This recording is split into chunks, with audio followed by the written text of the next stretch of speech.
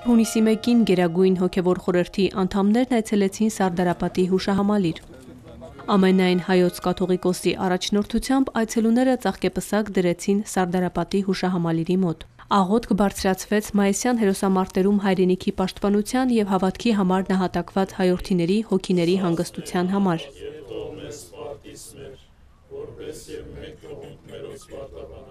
Պատմական աղբյուրները վկայում են, որ 20-րդ դարաշրջանի հաղթական ճակատամարտերի պետականության հաստատման գործում մեծ դեր է ունեցել հայ առաքելական եկեղեցին։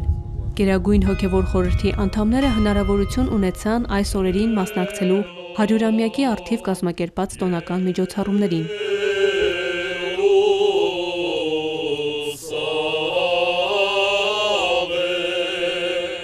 Պիտի ասեմ, որ իրապես շատ ուրախ եմ, շատ ուրախ եղա այս այս այս դարվա ժողովին, որ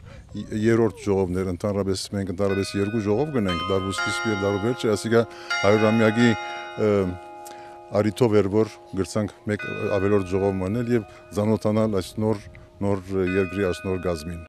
Ազգային եկեղեցական կյանքին Գերագույն հոգևոր խորհրդին, եկեղեցական ներկայացուցչական ժողովի հանձնախմբերին տարբեր թեմերի կանոնադրություններին, ինչպես նաև 2018 թվականի երիտասարդության տարվա շրջանակում ծրագրվող միջոցառումներին վերաբերող հարցեր են քննարկվել քարորյա նիստերի ժամանակ։ Գերագույն հոգևոր խորհրդի ուշադրության կենտրոնում էին եկեղեցի պետություն հարաբերությունները, դրանց նորոգ ընթացքն ու զարգացումը։